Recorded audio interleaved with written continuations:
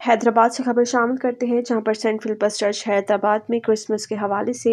एक तकरीब मनकद की गई, जिसमें मसीही बरदरी के अफराद ने बड़ी तादाद में शिरकत की, जबकि तकरीब के शुरा में क्रिसमस के तहफ़ भी तकसीम किए गए।